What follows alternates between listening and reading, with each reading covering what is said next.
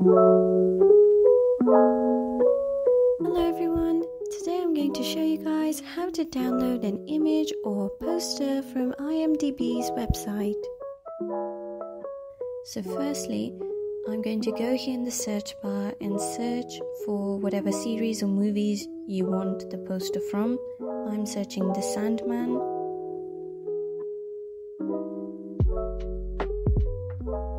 I've opened the IMDb page for The Sandman and now what you want to do is you want to go to this photos section over here. You're going to click on this. I'm opening it in a new tab. You can open it in the same one. Now you want to go to this gallery option right here. It's a bunch of tiny squares. This will open the photo gallery for whatever series or movie you have. Over here, you can filter it by person, which is actor names. Um, but I want the poster, so I'm going to go over here. I'm going to click this.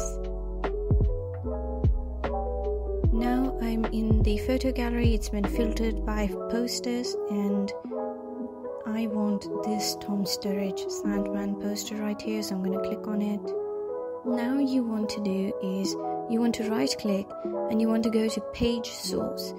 As you can see there was no option for saving image right? So now you're going to control F and find in page and you're going to type JPG this is going to show you a link which is going to be a Amazon media link. As you can see right here you can you need to highlight this and copy this and paste it into a new tab or you can just go to web address if your browser gives you this option. Mine does. And you want to go here and now you want to do is right click on this. Now you have the option for save image as. So you're going to save it. I'm just going to be renaming mine here as Sandman poster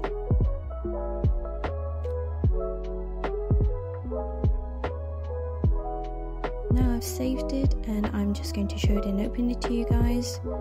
And here we are, we've successfully downloaded it. Thank you so much for watching. I hope you liked this video and I hope you have a fantastic day.